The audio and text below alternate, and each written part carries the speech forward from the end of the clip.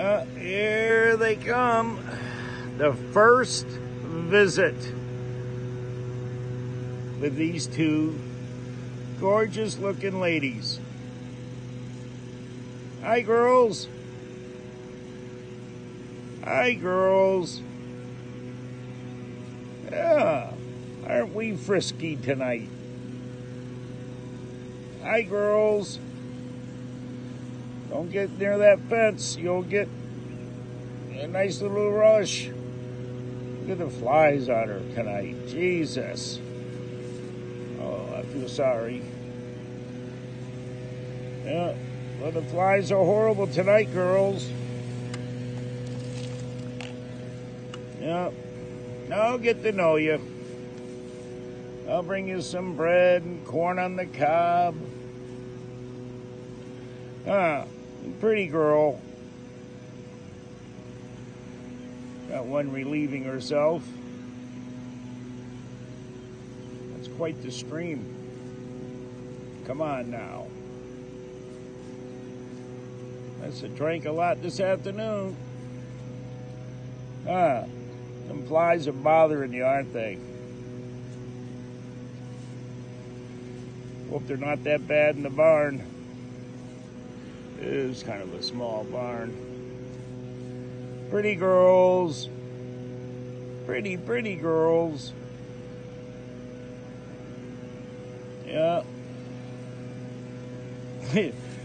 They're tiny compared to the last two that left.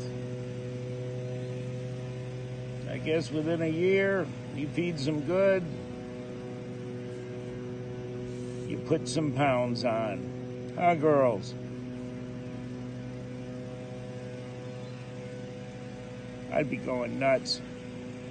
I need Prozac or something, man. If I had all them flies on me. That's horrible. Number four, and you got rid of yours. Yep.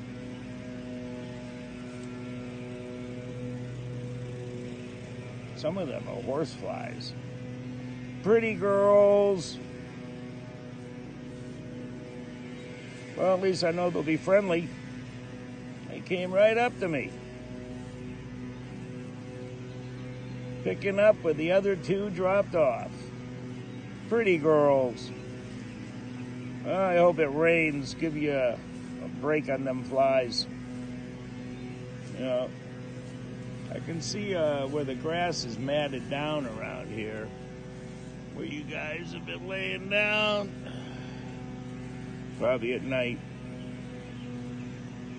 They're always out here at night. I used to come out around midnight. They'd be out here. So, I wonder if they're sisters. The last two were twins. The other two cows. Already got mud on them. See you later, girls. Nice to meet you.